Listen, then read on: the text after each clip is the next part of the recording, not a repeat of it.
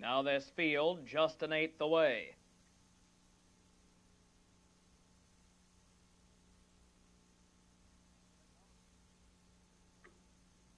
Here they come.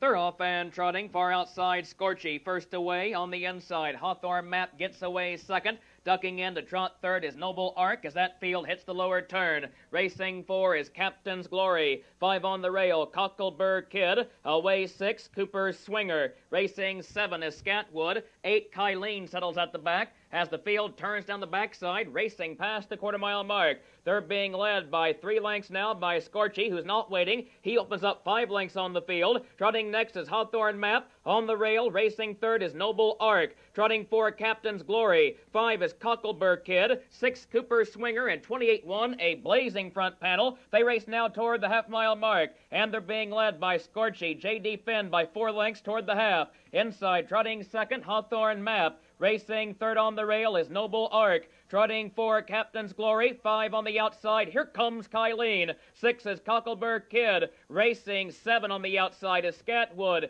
Eight at the back of the field is Cooper Swinger. As they race past the half, they were there in 57 one fifth, the big, big front half. And Scortchie will have to fight tiredness off that front half. They're racing toward three quarters. He's on top by three lengths. On the inside, Hawthorne Map is second. And then eight lengths back, trotting third as they race toward the three quarter mile station. On the outside, ranging up comes Captain's Glory. They're racing past three quarters. And Scortchie, John David Finn will head him past that marker in a stout 127 and 3, and Scortchie moves through the final quarter mile. Trotting second is Hawthorne Map, who's been there every step of the way. And Scortchie is still on top by eight lengths as they drive toward the wire. And Scortchie has them in the final eighth mile. Hawthorne Map is trotting second. Kylene is now third. Racing four from the outside, moving up in the lane as they drive toward the wire is Scatwood. In the final 16th, it is all Scortchie. Scortchie and John David Finn to the wire are going to win at home in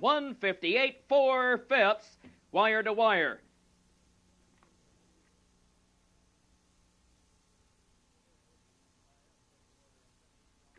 Here is the entire official order of finish from the